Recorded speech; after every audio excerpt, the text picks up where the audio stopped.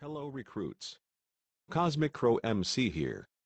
And welcome to the U-Choose Week results for July 2017. This month, we only got 5 votes. Although I'm a little disappointed, I hope that this is a one-time deal, and that we'll have more votes next month.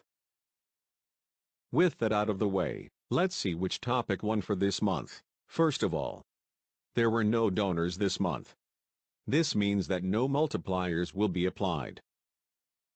For starters, the categories of Flash games, Geometry Dash, and reaction videos all got no votes this time.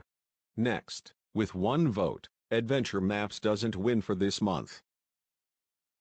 Following that is the topic of live streams, which also received one vote. This leaves us with survival games, which dominated with a total of three votes. Wowzers. Thank you to viewers and voters alike. If you are interested in voting, the topics you can choose from for next month are listed above. The links for voting, donating, and information about U-Choose Week are all in the description below. Check them out to participate in this event. Good luck to all the voters, and goodbye recruits.